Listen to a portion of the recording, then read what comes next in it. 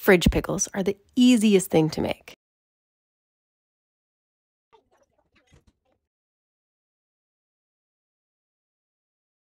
The hardest part? Waiting three days to eat them.